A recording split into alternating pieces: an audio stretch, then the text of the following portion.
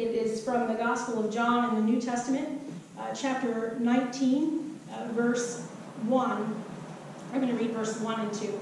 Uh, then Pilate had Jesus flogged with a lead tipped whip. The soldiers wove a crown of thorns and put it on his head, and they put a purple robe on him.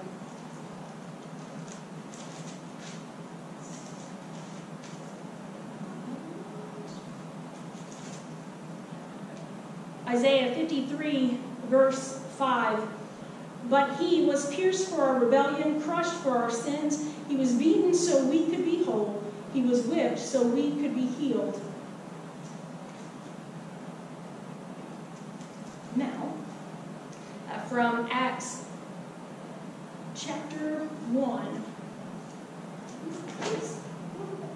Okay, um, verse 2. Well, I'll read 1 and 2 in my first, this is Luke speaking. In my first book, I told you, Theophilus, about everything Jesus began to do and teach until the day he was taken up to heaven after giving his chosen apostles further instructions through the Holy Spirit. During the 40 days after he suffered and died, he appeared to the apostles from time to time, and he proved to them in many ways that he was actually alive, and he talked to them about the kingdom of God.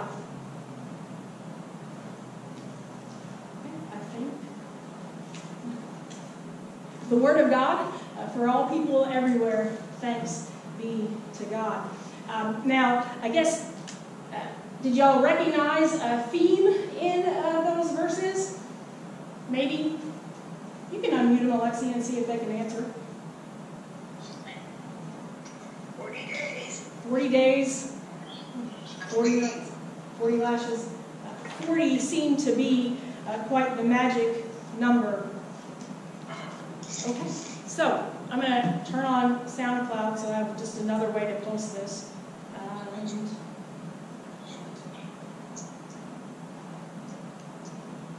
so you can make them quiet if you want to.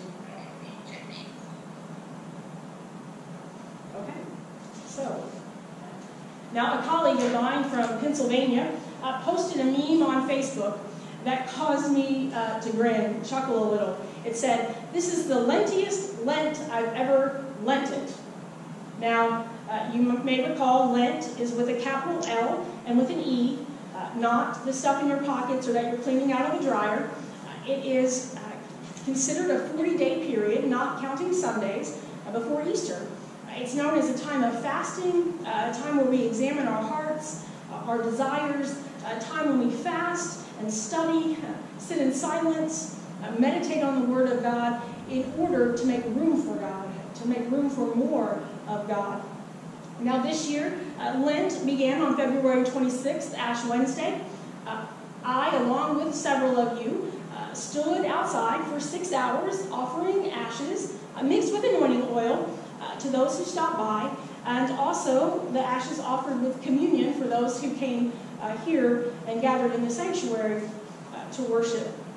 You might remember I had laryngitis. I did not have problems breathing, so uh, I don't believe that I, I infected the whole population of Dundalk. Uh, but nonetheless, the Liturgy of the Ashes uh, says, From dust you came, to dust you'll return. Repent and believe the gospel. Now that's sobering uh, news to a degree. Uh, and especially, especially when we're facing this uh, global pandemic, the idea of, of returning uh, to the ground ashes, they are a sign of death and also a sign of repentance, a sign acknowledging that we are sinners, we make bad choices, uh, we disobey God's will uh, and God's word. The anointing oil, uh, that's the outpouring of the Holy Spirit, the power to not only repent and believe the gospel, uh, but also the power to go and to sin no more.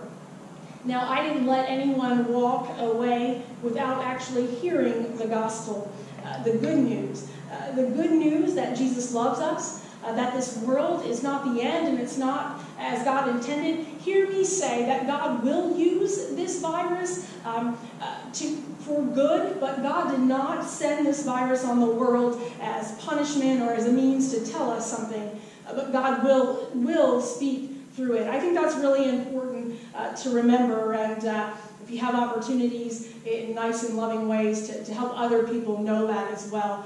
Uh, because um, often I think that God ends up getting a bad rap when we blame Him for things such as that. But I also shared within the gospel, too, uh, that they are beloved and that we are called um, to be strong and courageous. Uh, that, that Jesus dies, uh, dies, that Jesus loves us, died for us, uh, even though we make bad choices. That we're fearfully and wonderfully made, and that God has a plan and purpose for each of us and that will never leave us nor forsake us. Now, February 26th uh, began our 40 day journey towards Easter. We're 28 days in just 12 more days left in Easter, left with your Lenten fast, which I find it kind of amusing. I had determined when I go out to restaurants, um, I wouldn't order a drink unless, like Chili's has the three for 10, it comes with a drink. And uh, so, well, I really haven't had the opportunity to go out to restaurants. So, um, anyway, I haven't, I haven't suffered so much, but not ordering a drink is, well, I was going to put the money in the plate still, though, nonetheless. Um, when the fast is over in 12 more days when we uh, celebrate Easter on April 12th. Uh, Jesus risen from uh, the grave, sin and death defeated. Now, little did we know when we started this Lenten journey in 2020 that before it was over, we would begin another 40 day journey. Not called Lent, but quarantine. and so, before we continue on our journey this morning, if you would pray with me. Uh, God of grace and glory, creator of the cosmos, healer of all nations, the one who knit each of us together in our mother's wombs, we come before you this day, gathered in a way unique and different, and yet we are the church, your body, connected by the power of your Holy Spirit. So may we feel it, Lord, really, really feel it. Sweep through our homes in power and might. Speak to us, Lord, speak in us. Speak to me, speak in me, that you might speak through me or in spite of me. And God, protect us from the evil one and any glitches that would keep your word from being heard or proclaimed, and any germs that would uh, seek to invade our bodies. I pray this in Jesus' name, believing. Amen. Now, a, a little bit of, well, that's, no, see, this thing printed weird. And, okay, Donna, I told you. All right, there we go. So, this other 40 day journey, uh, quarantine, it is hard to determine when it began. I decided to choose March 12th when Governor Hogan uh, called for the schools to be shut down for two weeks. Some children rejoicing and, and some not so happy. Some parents not so happy. But anyway, uh, by March 12th, uh, and five cases of COVID 19 had been confirmed in Maryland. Uh, we might consider this our Ash Wednesday. Uh, but a look globally, though, revealed the death and destruction this little thing was having, uh, really a, a means of concern. Now, you've been living it. The restrictions have been getting stronger and stronger. Uh, supposedly, only essential services are now open. It is quite surprising what is considered essential and what isn't, uh, like the, the church we shouldn't be gathered here in this building today. Uh, that would be irresponsible. But, uh, but the church is not considered essential. The people of God are not considered essential. But car dealers are, uh, Royal Farms builders are, Amazon employees are, though Amazon Prime isn't getting us much uh, uh, early delivery anymore. Uh, PetSmart is essential. You can get cat and dog food and bird food at the grocery store. Uh, liquor stores uh, are essential because they sell milk, maybe, I don't know. Um, but uh, nonetheless, that's a topic for another day, and, maybe I'll, I'll tune in later this week with some thoughts on that. Now, the buzzword is shelter in place. And if you don't understand what that means, many are just yelling, stay at home. Now, that's after they are um, complaining on Facebook about how many people were in Walmart uh, or having just tipped that delivery person um, who, while they were staying at home, was not staying at home and being in contact with all sorts of people. But, but anyway, uh, but this shelter in place, the, the word uh, that is not quite as uh, um, user friendly is quarantine. Now, a little research reveals uh, actually Googling the word and reading the definition from a trusted source, Merriam-Webster Collegiate Dictionary, quarantine, definition number one, is a period of 40 days. Anybody know that? Um, No. now hold that thought. Um, number two was a definition about uh, ships and ports of entry. Uh, number three, uh, a restraint upon the activities or communication of persons or the transport of goods to prevent the spread of disease or pests. And number four is a state of enforced isolation. Three and four definitely hit home.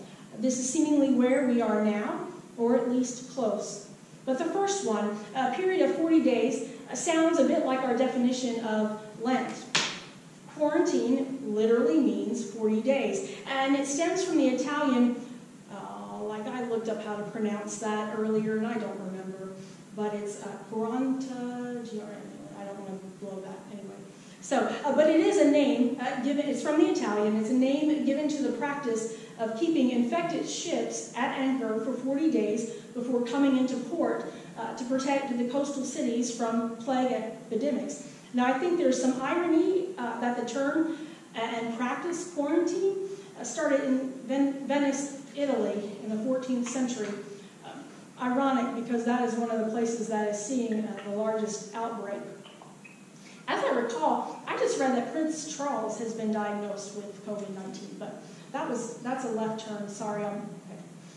Now a little U.S. history in regard to quarantines. Um, in early America, protection against imported disease it fell on local and state jurisdiction, but they weren't paying a whole lot of attention to that, and and uh, continual yellow fever outbreaks. Uh, Congress then passed federal quarantine legislation in 1878. In 1921, the last local um, uh, station of quarantine was passed over to the federal government, and uh, then in the late 19th century, uh, cholera from European passenger ships gave the federal government even more authority. Now the Centers for Disease Control are in charge of quarantines, uh, and um, though not infringing on state and local rights, and the list are in an executive order of the president. Uh, includes cholera, diphtheria, transmittable tuberculosis, um, viral hem- hemorrhagic fever, uh, for instance, Ebola, uh, the plague, smallpox, yellow fever, and then severe acute respiratory syndromes, SARS, which COVID 19 is an example. COVID 19, one of them, and now we're all quarantined, or if you must, sheltering in place a period of 40 days. Now, if I've calculated correctly, uh, and all is returned to normal on April 26th, uh, like we are being told presently, but we know that that can change. But, but nonetheless, then 45 days will have elapsed um, from March 12th. So the governor seems to be demanding an extra five days. Now, that's more than God asks, right? Um, but um, I'm not attacking our governor. Uh, for all intents and purposes, he has been out in front of this pandemic as much as possible. Uh, so now you may have caught on by now. 40 is a popular number, not necessarily for birthdays, uh, but for Lent, uh, from Lent to quarantine, and then those scripture passages that I read from the outside outset. Now, trust me, I didn't read all of them. You might have thought I was reading all of them, uh, but 40 is mentioned in Scripture 146 times. I googled that this week. I did. I didn't look them all up. Um, now, there are several numbers that are used repeatedly in Scripture, and 40 is one of them.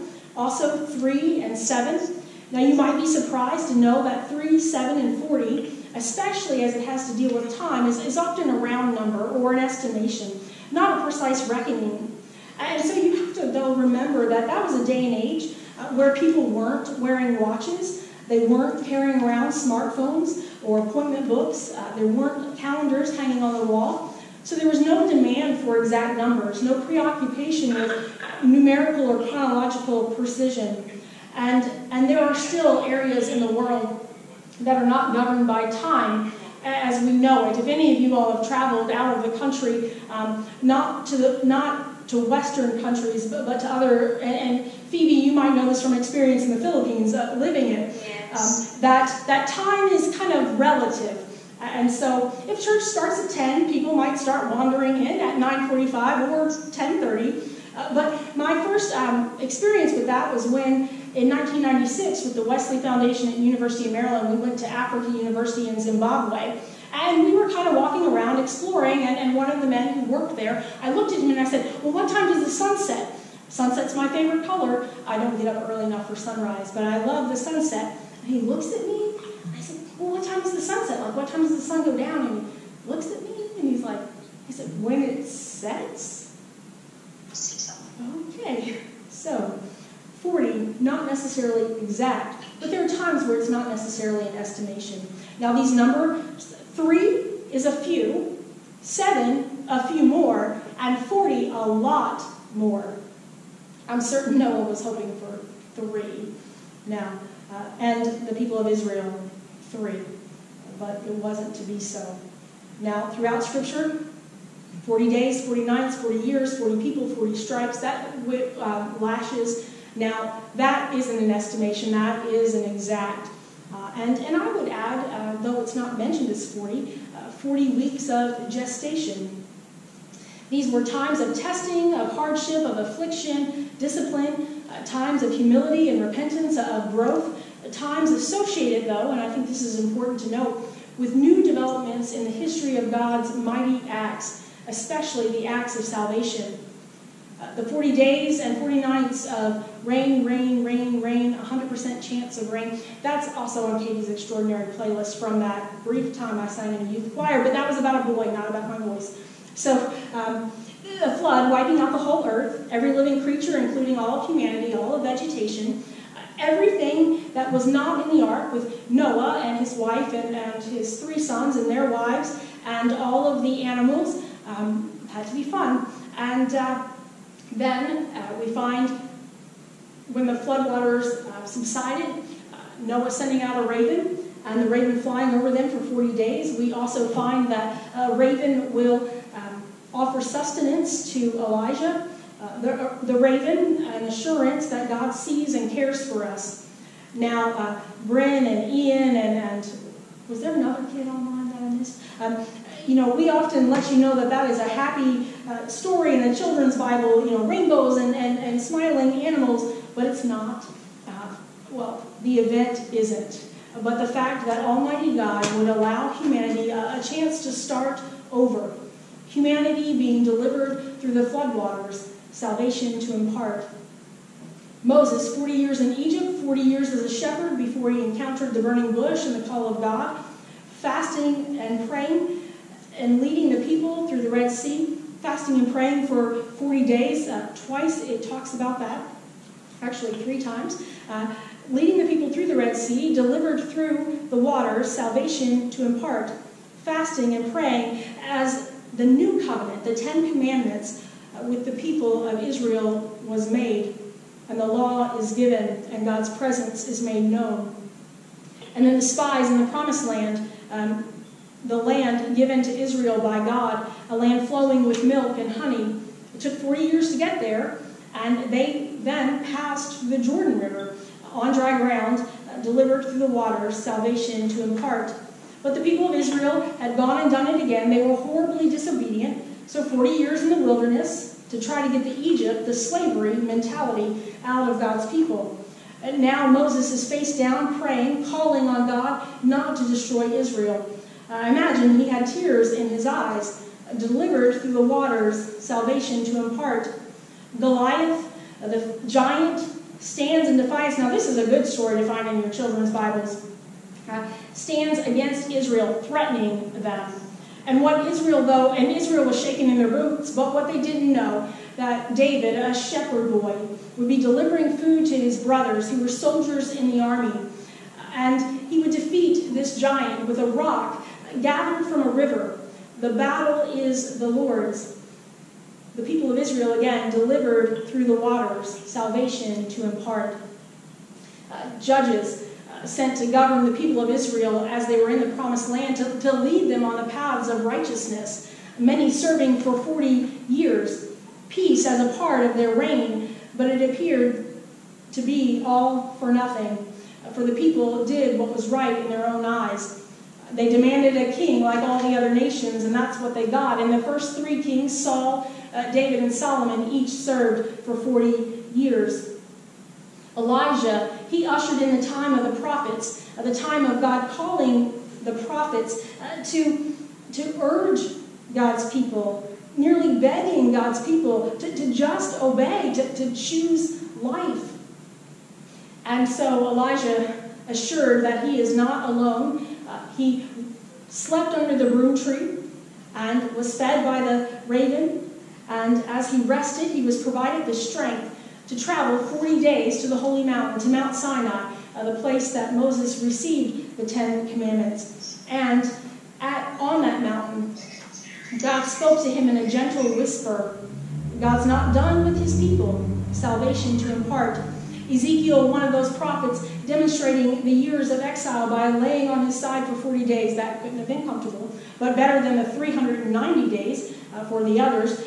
But here in that, uh, the, the prophet uh, informing the people they'll be in exile. They, they will be taken from their lands because, um, because they were disobedient. The prophets, though, calling them to obedience, to, to give them a chance to claim their inheritance, the kingdom of God, salvation to impart. Jonah, that's a good kid story too. Uh, another prophet, 40 days delivering the message of, of, destruction to this pagan city, to, to this city of, of people making horrible choices, to, to a city full of people that, that were not considered uh, the people of God. And, and you know, repent. Uh, he spent 40 days shouting the message, repent or you'll be destroyed. And uh, they repented. They, they put on sackcloth, sat in ashes, and, and they turned to God for forgiveness. Now, this didn't make Jonah very happy. That doesn't make sense, but, but that's not the point. Uh, you might know that Jonah was delivered through the belly of a whale, uh, through the waters of the sea, salvation to impart, even to the Gentiles, even to those deemed unredeemable and unforgivable. And then we have Jesus, the Son of God, in the wilderness for 40 days, tempted and tried, just as the people wandering in the wilderness for 40 days. 40 years.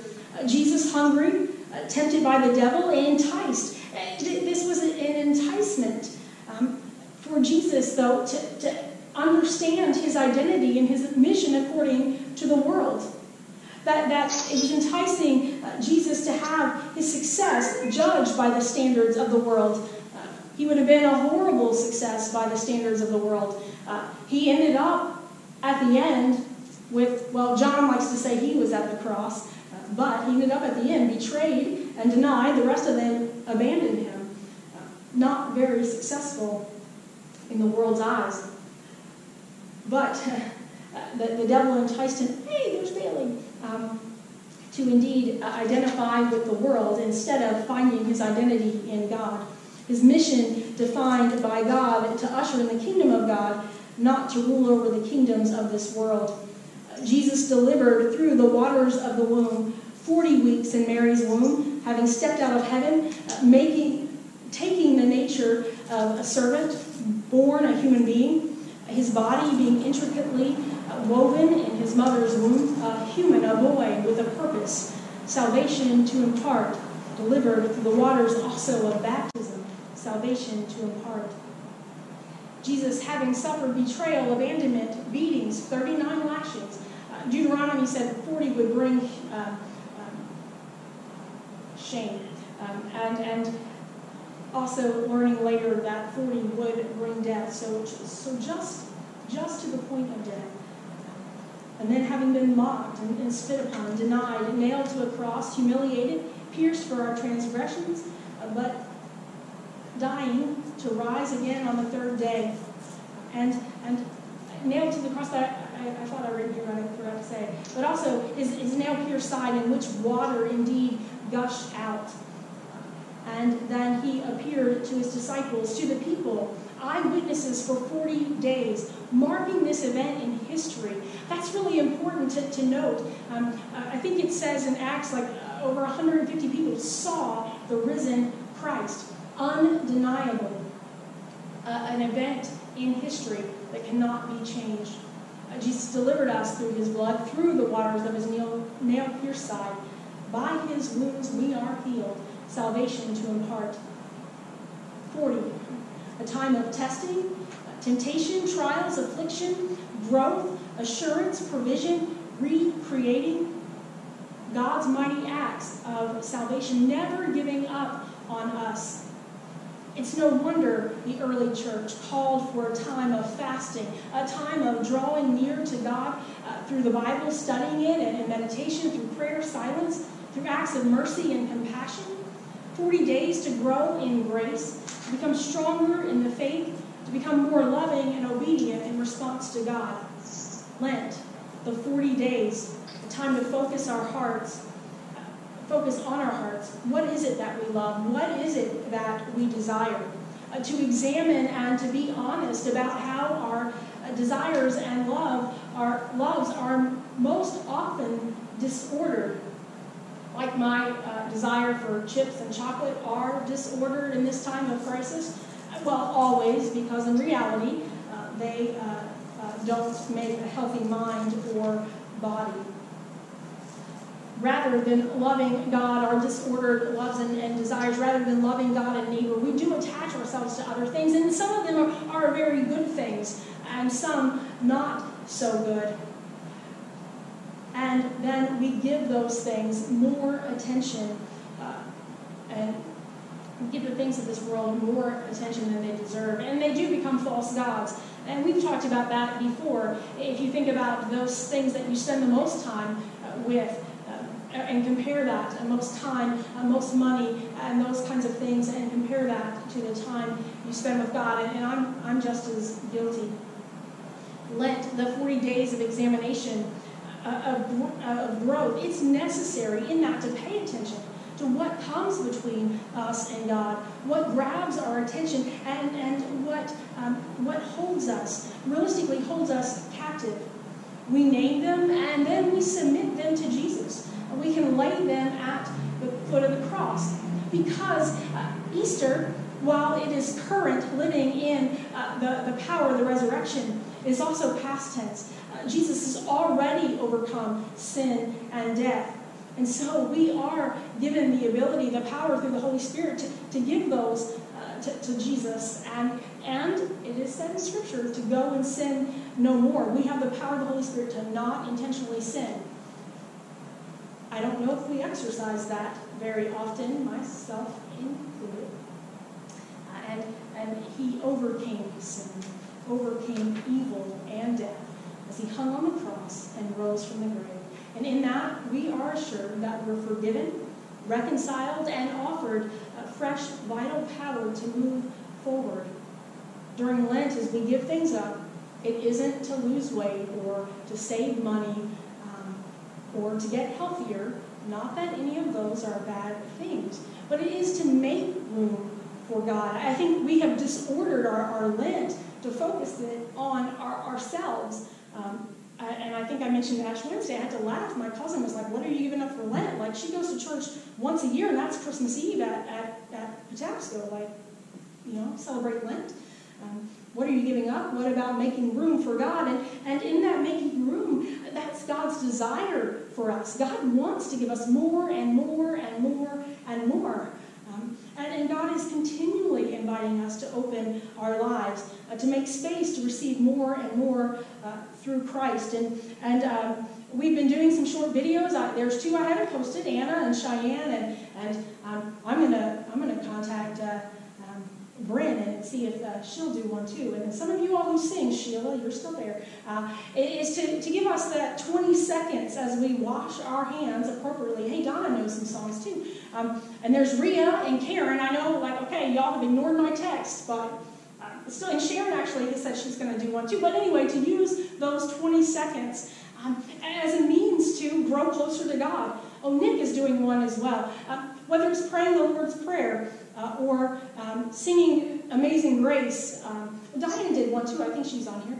Um, or uh, she did Jesus, Jesus, Jesus. And um, I haven't listened to Cheyenne's yet. Um, and Anna was My God is So Big. But, but in our 20 seconds, uh, Great Thy Faithfulness works.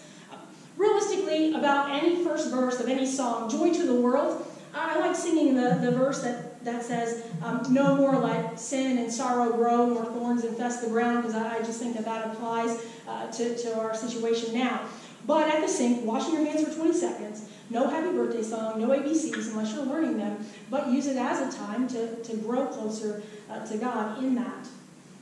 God wants to give us more and more and more. Wants us to, to grow in grace, to become stronger in faith, and to respond to His love, uh, to His offering of more and more, to be more loving and to be more obedient. 40 days to focus our hearts. What is it that we love? What is it that you love? What is it that you desire most? Be honest about it and submit them to Christ.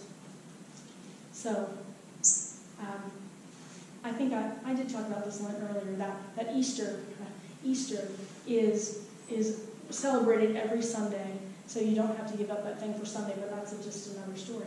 But every day we have the opportunity, every moment of every day, to accept God's invitation for more and more, to accept the Lord's invitation to exchange our disordered desires. Um, that's entropy in chemistry, that everything moves towards disorder. But our God is, is, is not a God of chaos, but a God of order. So we have that invitation to, to exchange that disorder for resurrection power uh, for, for the uh, fruit of the Holy Spirit love, joy. Um, I know these, and I'm just love, joy, peace, patience, kindness, gentleness, and self control. Uh, to, to live into those um, spiritual gifts that, that God has given us. Um, whether it is healing or miracle working or administration or hospitality or generosity. Um, and there's a bunch more. Ephesians 4, 1 Corinthians 12, uh, Romans 12 lists some, but that's not exhaustive. But Lent, 40 days. This quarantine, uh, this 40 days, I think it's a, a, new Lent. It's a new 40 days, a new opportunity as we are sequestered, as you are kind of contained. Um, not just, uh, some of y'all are working from home, but you know, then you don't have the commute, but not just to organize the, the junk drawer and, and those kinds of things, but, uh, but to grow in grace, to, to read, to study, to pray, to sing, um, to reach out and connect, and, and, and as safely as you can and ought. Um, but, but to find yourself preparing for, for that huge celebration of resurrection. Um, to, to be able to celebrate all that that God has given us, that, that salvation that God has given us, that, that life eternal that God has given us. And in that eternity, doesn't start with your last breath on earth. It starts now. It starts when you accept Christ. When will we, when will I uh, learn to, to live that life of, of power, of, of, of confidence, of courage? Uh, God did not grant us a, a, a spirit of fear, but one of power and love and self control. When will we, um, when will we, I'm going to use the word attack, when will we attack the, the virus of sin, uh, just as the virus of COVID 19 is being attacked? When will we go at it with such, um, with such force that, that we, are, we are working so hard for it not to be spread? When will we accept uh, the, the invitation for more and more? And in that more and more, uh, coming to understand a little bit more how wide, how long, how deep, how high God's love is for us. The love demonstrated uh, while we were yet sinners, Christ died for us, proving God's love for us. A love that cannot be calculated. Then, you all know this, in the assurance of God's love for you, that you are loved by God, you have the ability to love God with heart, soul, mind, body, strength to ask for more and more Jesus. And that's why I love when you kids take communion and you want a big piece or you want seconds, more and more.